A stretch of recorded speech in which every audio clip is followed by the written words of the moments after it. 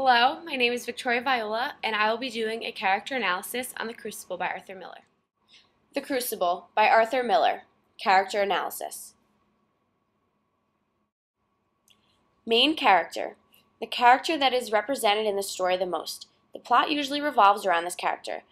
In the case of The Crucible, the main characters are Abigail Williams and John Proctor.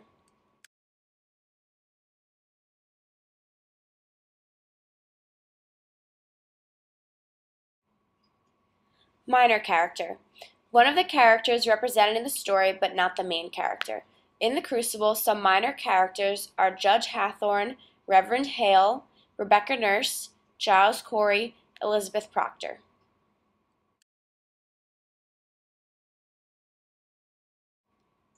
Dynamic and static characters.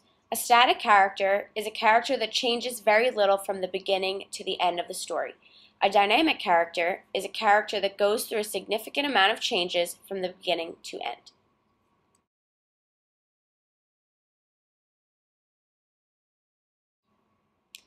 Abigail Williams. Characterization. A strikingly beautiful girl.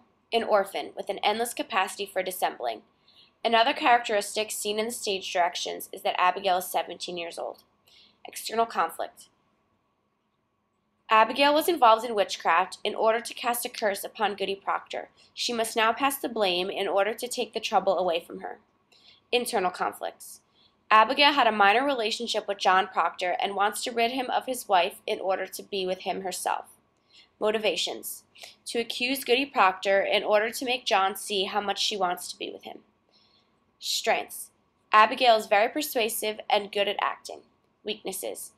Abigail does not care about the well being of others or condemning others to death.